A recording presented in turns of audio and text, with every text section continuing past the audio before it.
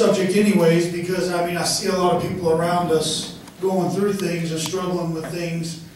But I pulled a few scriptures that I just want to share.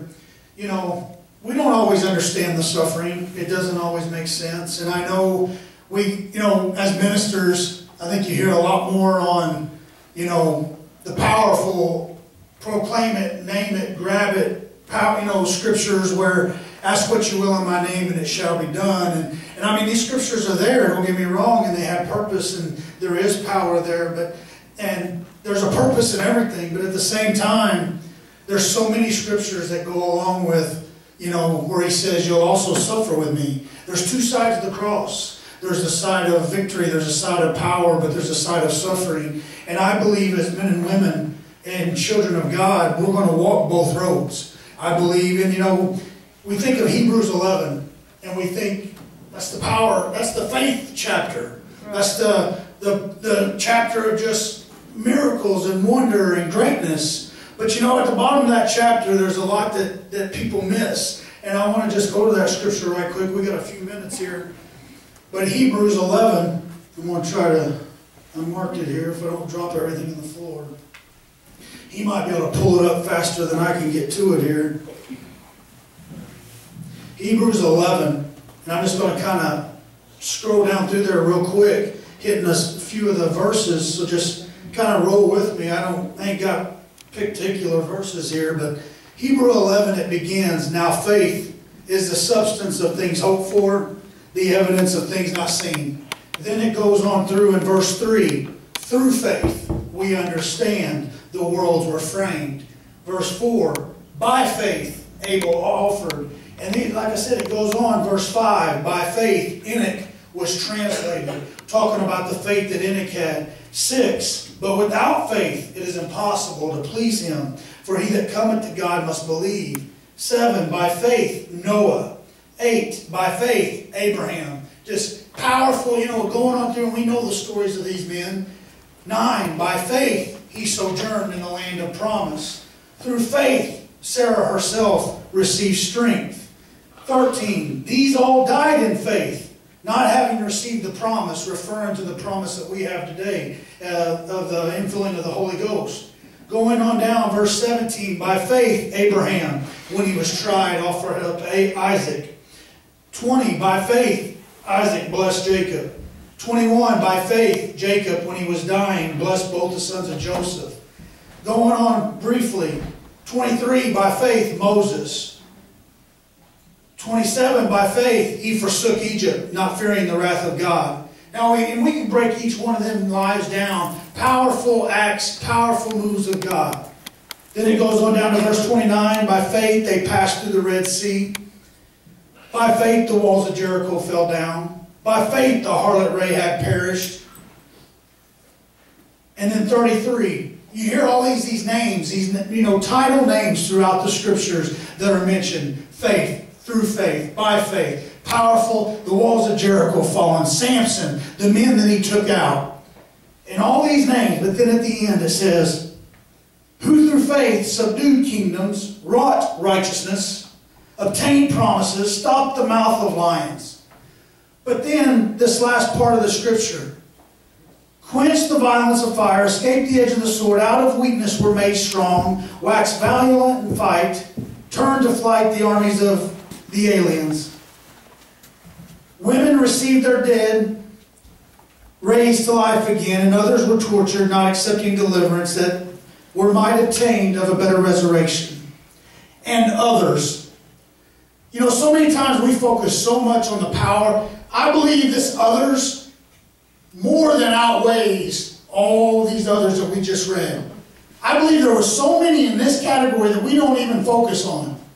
Don't get me wrong, I'm not I'm just saying there's two sides of the cross. And there's many scriptures. Paul even said that he says, I suffer for his namesake. That we got to suffer for Christ. But it goes on, 36. And others had trials of cruel mockings, scourgings, yea, moreover, of bonds and imprisonment. They were stoned, they were sawn asunder, were tempted, were slain with the sword. They wandered about in sheepskin and goatskins, being destitute, afflicted, tormented, of whom the world was not worthy.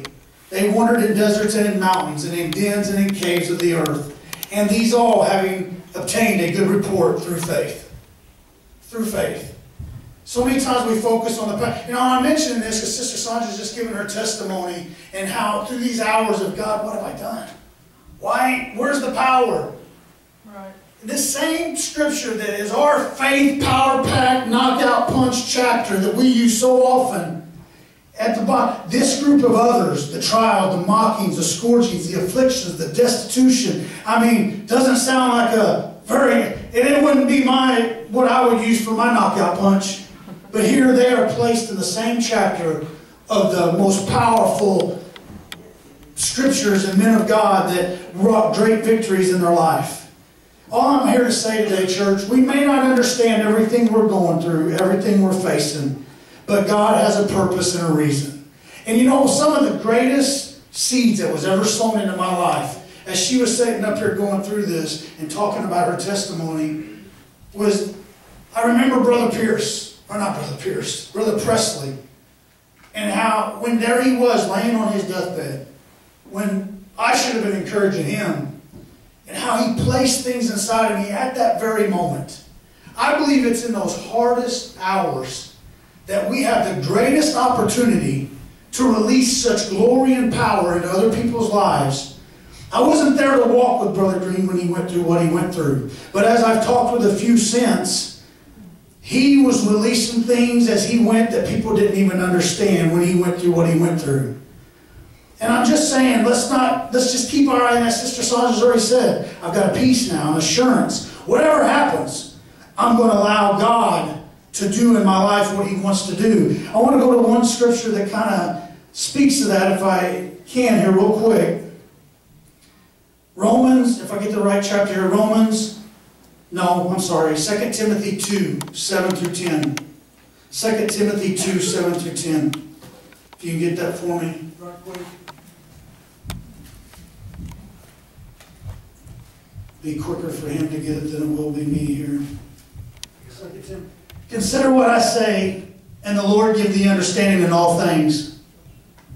Remember that Jesus Christ of the seed of David was raised from the dead according to my gospel, wherein I suffer trouble as an evildoer, even unto bonds, but the word of God is not bound. Therefore I endure all things for the elect's sake, that they may also obtain the salvation which is in Christ with eternal glory. But Paul is saying, I'm suffering as an evildoer. You, I just feel his heart crying out. People would look at him and think, What have you done wrong? She kind of says well, who she thought was her friends. But he said, I may be bound in this physical, fleshly body, but the Word of God is not bound. And as I see Paul, and look at the words that he was ministering to others then.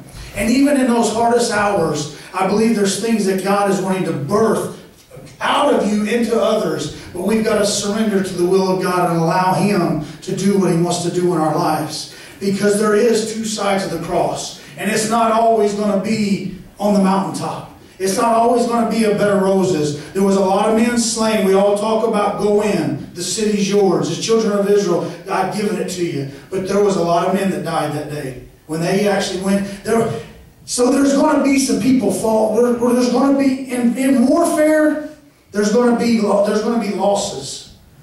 But there's a greater cause, and there's going to be a greater day stand before each and every one of us. So I'm not coming in here trying to say accept what you're going through. And I mean, I hope I'm coming across and you're hearing what I'm trying to say. Allow God to use you in your situation that you're going through. Allow God to allow to be able to birth that from you into others and allow that seed to flourish and allow God's will to be done in our life because there are hard things that we don't understand in life, but if we'll allow God to use us, I believe it could be some of our greatest, greatest victories that we could ever face and greatest bursts that we can birth into other people's lives if we'll just surrender to the will of God. So thank you, Sister Sandra, for sharing your testimony. And it does get tough, and it does get hard, and it doesn't mean you're out of God's will. It could mean you're right where God wants you to be. You're right where God wants you to be. And God, it's hard when you're in the will of God. Everybody says they want to follow Christ, but you follow Christ. He, at road to Golgotha, all his disciples said, Oh, I'll follow you, I'll follow you. We don't, you know, these are hard areas because we want to talk about, ask what you will in my name. We want to just, boom, why ain't it happening, Lord? And I believe there's a lot of misunderstanding in, in ministers and the way we deliver the word sometimes. And I believe there's deeper depths that we still don't even understand fully ourselves. That's to be gleaned and learned that we don't even understand. And it needs to challenge us to dig deeper and go deeper to learn more of what God is trying to tell us. Let's stand today as we get ready to go into our second service.